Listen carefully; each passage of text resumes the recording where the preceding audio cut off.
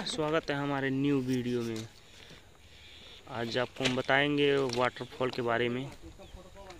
बन रही है हमारे वीडियो में।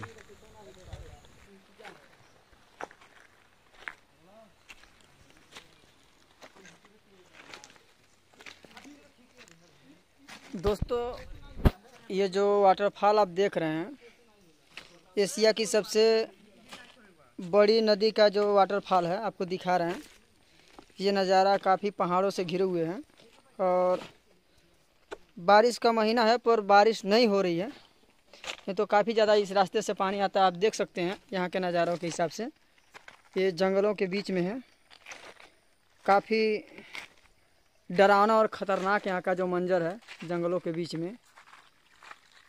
तो आप देख सकते हैं, जिन भाई को अगर घूमने आना है तो त्रिवेणी घाट के नाम से यहाँ पे एक शीश महल नाम का एक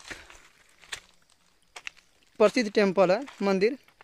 काफ़ी यहाँ पे जो बुद्धिस्ट लोग रहते हैं, उनका यहाँ पे वास होता है। तो आप ये वाटरफॉल देख के समझ गए होंगे कि ये नज़ारा जो है जंगली है। काफ़ी डरावना और ख़तरनाक है। यहाँ पे आना अलाउड नहीं है। फिर भी हम लोग चोरी चोरी ये वीडियो निकाल के दिखा रहे हैं आपको। जो भाई नहीं आ सकते वो वीडियो काफ़ी देख सकते हैं। बहुत बड़ा वाटरफॉल है आपको। अंदर तक नहीं जा सकते हम लोग, क्योंकि काफ़ी जो जंगली जानवर हैं, जो खतरे के तौर पे यहाँ पे पानी पीने के लिए आते हैं, वो ज़्यादा खतरा बना के रखते हैं। तो ये वीडियो ज़्यादा बड़ा तो नहीं बना रहे हैं, पर आपको जो जगह देखना है, काफ़ी आप लोग कमेंट करके बता सकते हैं कि जो आपका फेवरेट हो सकता है। वो जगह का वीडियो हम आपको बना के दिखाएँगे। ये देख सकते हैं आप काफ़ी पानी बहते हुए नज़ारे के लिए। यहाँ का जो नज़ारा है काफ़ी बहुत खूबसूरत है, जंगलों में है, ठंडा और शांत मौसम के हिसाब से बहुत अच्छा है। जुड़े रहिए दोस्तों हमारे वीडियो के साथ में। आगे वाले वीडियो में आपको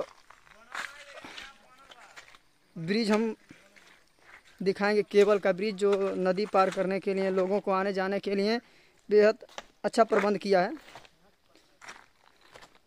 ये नदी आप काफ़ी देख सकते हैं, खूबसूरत नदी है। और बहुत बड़ी भी नदी एशिया की सबसे बड़ी नदी इसको कहा जाता है, त्रिवेणी नदी। और हमारे दोस्त लोग हैं, देखिए, घूमने आया साथ में सब लोग। तो आप देख सकते हैं, काफ़ी बहुत बड़ी नदी आपको बता रहे थे, त्रिवेणी घाट का जो नदी है, एशिया की सबसे बड़ी नदी मानी जाती है। क्योंकि ये इतना बड़ी नदी है कि हम लोग खुद नहीं बता सकते कहाँ से निकली और कहाँ जाके ख़त्म होती है।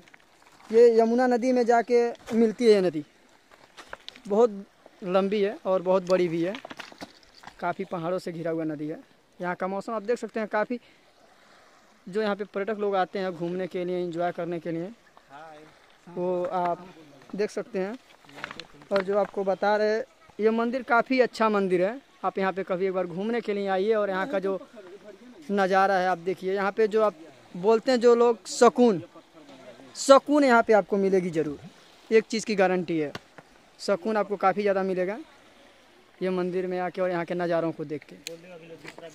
अगले वीडियो में आपको हम मंदिर का भी वीडियो दिखाएँगे और जो केबल का वायर बता रहे जो नदी पार करने के लिए बना है, वो भी आपको दिखाने वाले हैं। तो जुड़े रहिए हमारे साथ और नेक्स्ट वीडियो देखने के लिए आप लोग वेट कीजिए। थैंक यू दोस्तों।